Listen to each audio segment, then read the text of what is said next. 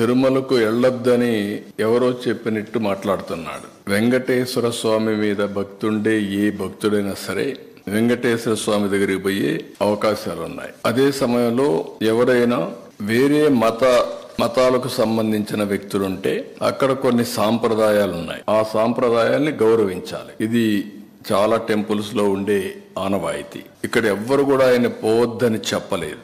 ర్యాలీలు జన సమీకరణలు చేయొద్దని చెప్పాం. ఇటీవల తిరుమల తిరుపతి దేవస్థానంలో జరిగినటువంటి పరిణామాల వల్ల భక్తుల మనోభావాలు దెబ్బతిన్నాయి. ఎప్పుడైతే భక్తుల మనోభావాలు దెబ్బతిన్నాయో భక్తులందరూ కూడా ఆందోళనలో ఉన్నారు.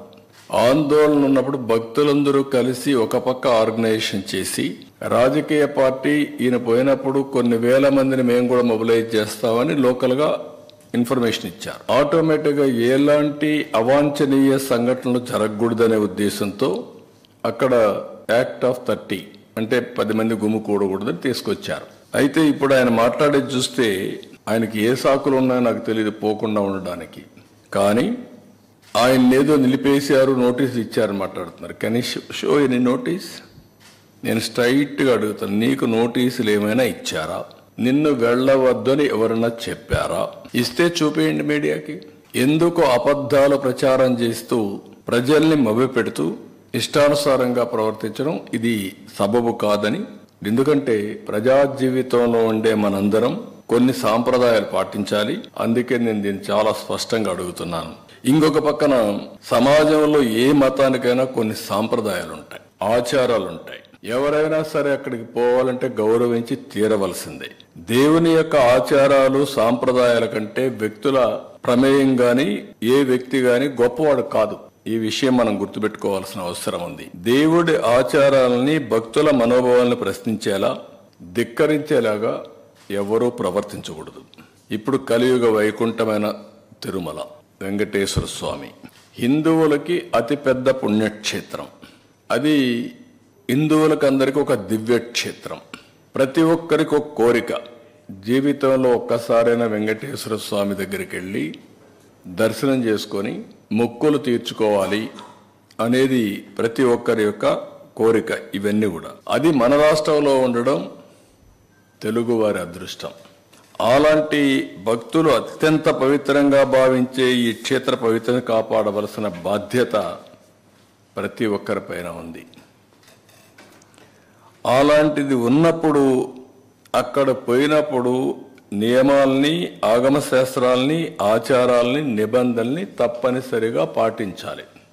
అలాంటి పాటించకపోతే కొన్ని కొందరి మనోభావాలు కూడా దెబ్బతినే పరిస్థితి వస్తుంది. అందుకే ఈరోజు అతను మాట్లాడిన మాటలు చూస్తే నేను వెళ్తాను.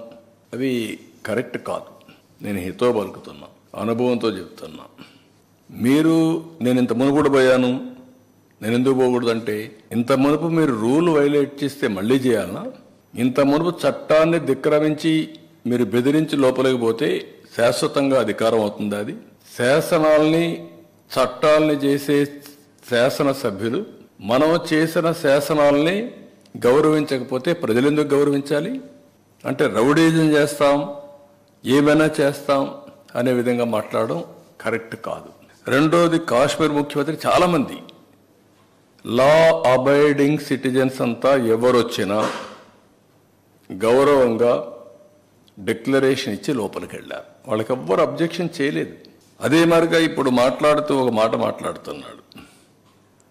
నేను నాలుగు గోడల మధ్య బైబిల్ ప్రాక్టీస్ ఇస్తాను చేస్తానని. బయటకు వెళ్తే హిందూ మతాన్ని గౌరవిస్తానని. గుడ్. గౌరవించడం అంటే ఏంటి? ఆ టెంపుల్కి పోయినప్పుడు ఆ టెంపుల్లో ఉండే సాంప్రదాయాల్ని పాటించడం అక్కడుండే ఆచారాల్ని అమలు చేయడం ఆ నియమాల్ని నిబంధనల్ని తప్పకుండా ఉల్లంఘించకుండా పాటించడం అంటే మీరు వేరే మతాల్ని గౌరవించినట్టు. అట్లా కాకుండా నేను ఎప్పుడు ఇంతవరకు ఎవరు అడగలేదు ఇప్పుడు ఎవరు అడుగుతారు నన్ను? ఇది కరెక్ట్ కాదు. అందుకనే ఈరోజు నేను అడుగుతున్నా మీకు గౌరవం ఉంది. మీరే ఒప్పుకుంటున్నారు నేను బైబిల్ని చదువుకుంటాను నువ్వు బైబిల్ చదువుకున్నప్పుడు నువ్వు యాక్సెప్ట్ చేస్తున్నావు. యాక్సెప్ట్ చేసినప్పుడు తప్పు లేదు దాంట్లో. ఎందుకు ఇంట్లో రూ- రూమ్ ద్వారా బయట కూడా చదువుకోవచ్చు. బట్ ఐఎమ్ సేయింగ్ ఎందుకు చర్చికి పోకూడదు? I'm asking straight question. Don't mistake me. రాష్ట్రంలో ఉండే ప్రజలందరూ ఆలోచించాలి. నేను ఇందోని వెంకటేశ్వర స్వామి దగ్గరికి పోతాను. నేను ఓపెన్గానే పూజలు చేస్తాను. అదే మరి చర్చికి పోతాను. వాళ్ళ నియమాల్ని నిబంధనల్ని పాటిస్తాను. మసీదుకు పోతాను వాళ్ళని గౌరవిస్తాను. మత సామరస్యాన్ని కాపాడతాం సొంత మతాన్ని ఆచరిస్తాం.